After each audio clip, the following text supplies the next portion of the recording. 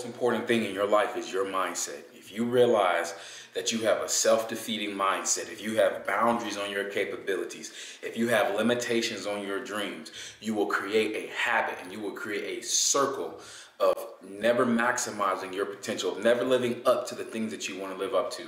You'll never chase your dreams. You'll never take that risk. You will allow fear to stop you the number one thing that we can do is recognize the power of our mind, the, the, power of the subconscious mind.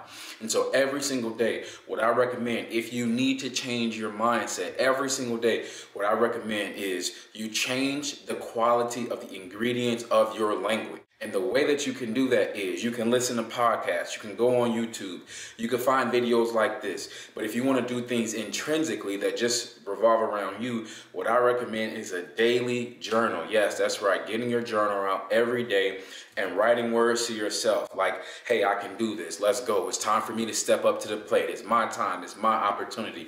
I got this. I believe in me. I'm ready.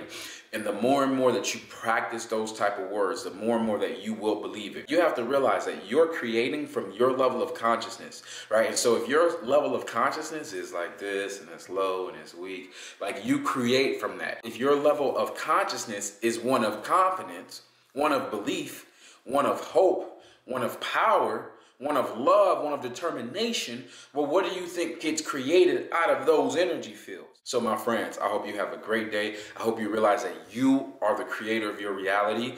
Be mindful of the language that you use. Be mindful of the language that comes into your brain. There's nothing more important than, than what's inside of here in your subconscious and your thoughts, right? So, guard it, protect it, value it, cherish it.